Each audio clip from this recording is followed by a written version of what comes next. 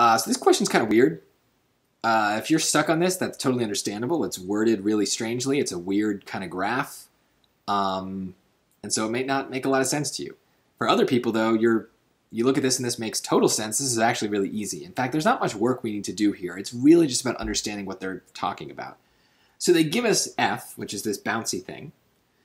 And the figure above shows the complete graph of the function f in the xy plane. Great.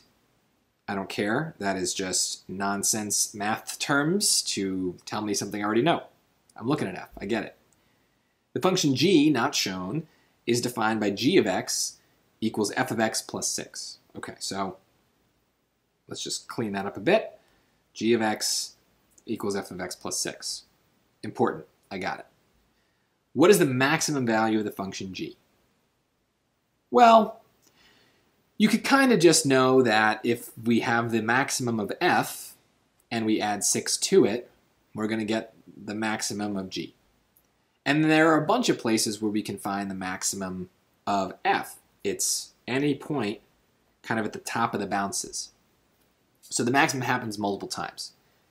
So when we talk about the maximum value of f, we're looking for what is the highest it goes on the y, right? So not the x's, we want to know how high it gets, right? So the highest it gets is 2.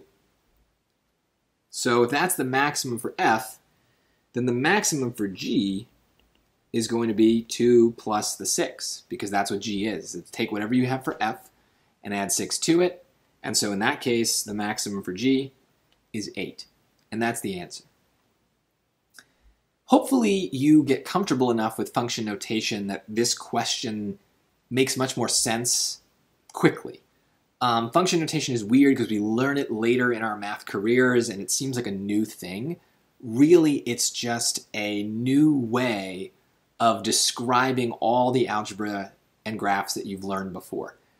Basically, what happens with function notation is we get tired of calling everything y equals.